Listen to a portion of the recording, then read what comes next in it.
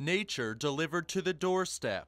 A fawn, less than a day old, left on the front porch of this Pacific Grove home by its mother.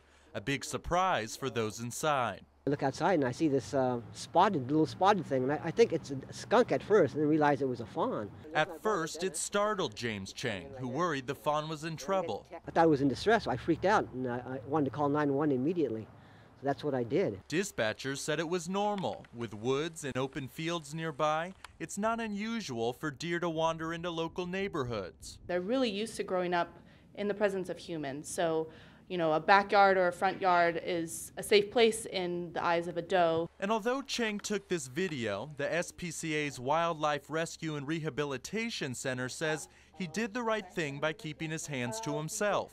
If you do see something like that, just leave them be, try and leave out the back door, you know, um, be quiet, try not to spend a lot of time watching it because mom doesn't want a lot of people around. Of course, once Chang realized that the fawn was fine, he says he could truly appreciate what he was watching. To actually see a fawn here is amazing, and also for the for the mother deer to have enough confidence to know that uh, uh, humans uh, will leave them alone. Within hours, mom came back and left with her baby, back into the woods, at least for now.